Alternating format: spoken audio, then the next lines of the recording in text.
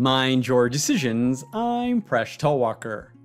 The 1947 Stanford competitive examination included a version of this problem. I bought 72 identical items. Each item had the same cost, and the cost was a whole number of dollars. The total cost was a five digit number. You don't know the first or last digit, but the middle three digits are 6, 7, and 9. How much did each item cost? Pause the video if you'd like to give this problem a try, and when you're ready, keep watching to learn how to solve this problem.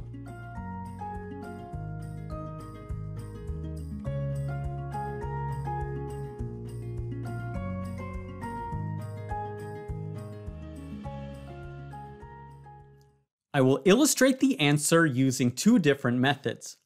Let's get started with a brute force calculation. The total number of items I bought is equal to 72. If we multiply that by the cost per item, we will get the total cost of all items. We can then vary the item cost, and that will affect the total cost.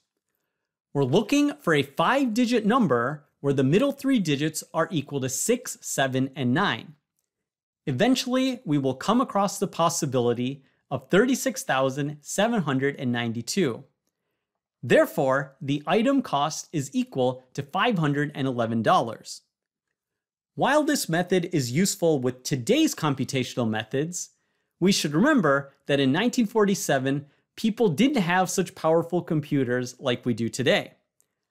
The other issue with this method is it doesn't tell us anything about the structure of this problem. So now let's solve the problem using logic to understand it in another way. The key insight is that 72 is equal to 8 times 9. This means the total cost must be divisible by both 8 and 9. So let's recall some divisibility rules. We'll get started with the divisibility rule for 8. A number is divisible by 8 if its last three digits are. We have a 5-digit number, and we'll focus on the last three digits.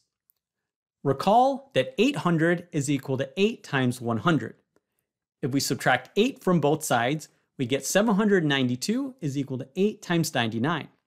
If we subtract 8 again from both sides, we get 784 is equal to 8 times 98. Seeing that two of the digits must be equal to 7 and 9, the only possibility that works is 792. Therefore, the last digit must be equal to 2. Let's now go back to our five digit number and suppose the first digit is equal to A. Let's recall the divisibility rule for 9. A number is divisible by 9 if the sum of its digits is divisible by 9. We will therefore take the sum of these five digits. Then 7 plus 9 plus 2 is equal to 18. Notice that 18 is a multiple of 9, so we can eliminate that. We then want a plus 6 to be a multiple of 9. The only way this will happen is if a plus 6 is equal to 9, because a is a digit between 1 and 9. This means a is equal to 3, and that's the first digit.